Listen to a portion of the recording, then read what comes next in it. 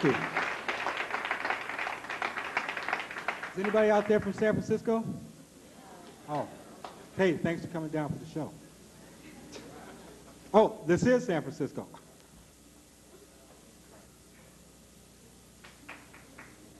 Hey, He used to live here. I got a president of my fan club. Where's he at? Oh, I knew I recognized you from somewhere. See me after the show. You got it. The uh, who writes your uh, stage notes? My what? The stuff you say on stage. Who writes that? Because we're gonna have to talk. You want all the credit, right? Okay, he We're- does. He Oh, does. we're gonna have to talk about this. Hey, I've been censored halfway across the country, you know. I'm- There's no. Like He's not telling any jokes tonight. It's totally out. Man, I got some hospital jokes too. He's gonna come up and tell a joke right in the middle of Al- one of the most beautiful songs by Alex de Grassi, I think. Traveling salesman. But the thing is, Alex, stops by his favorite bordello. Says, uh, madam, I give you a hundred dollars. I didn't write this joke. I have nothing to do with it. I, Sir, for hundred dollars, you can have my most passionate book.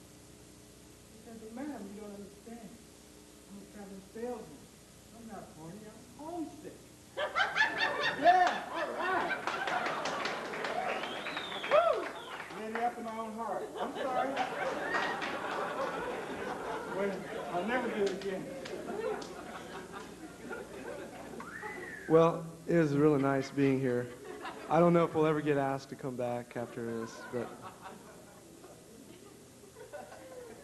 Hey, Um, you know, seriously, I've always wanted to be here. I, I used to live in San Francisco. I was born right down on Steiner here. Yeah, and it's, I haven't been down here in about three or four years, and it really feels good to be back. So thank you for whoever done this. Thanks a lot. Thank you.